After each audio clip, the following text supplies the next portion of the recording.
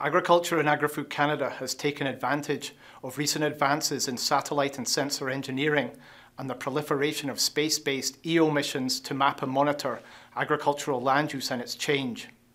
This includes image data acquired by a multitude of satellites and sensors that span the optical and microwave regions of the electromagnetic spectrum and a range of spatial resolutions. Work done at Agriculture Canada in both research and operations has demonstrated the value of Earth observation to provide useful national extent, cost-effective, timely, accurate and scalable information on land use and its changes in time. In the future, Agriculture Canada's ability to meet the sector's information needs is expected to improve as new satellite sensor technologies are launched, brought online and made available.